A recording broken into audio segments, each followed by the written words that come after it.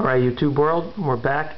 Uh, I just finished mounting the magnets and the contact on the um, the disc off the camshaft and what I'd like to show you is how I got rid of the waste spark.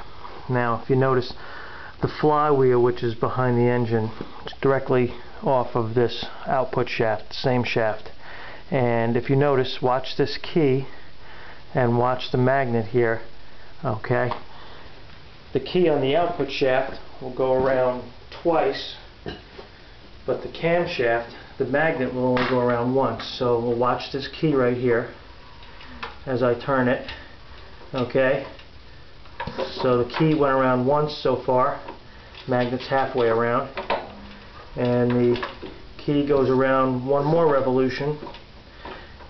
And the camshaft magnet only made one whole revolution so that's how we're getting rid of the waste spark because normally the magneto that's mounted directly off this shaft it fires once for the after the compression stroke for the power stroke and then once again uh, at the end of the power stroke and the exhaust stroke.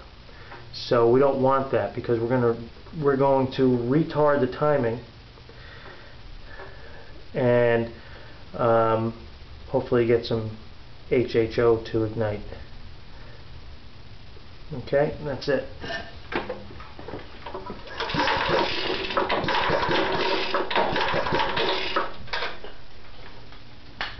Stay tuned.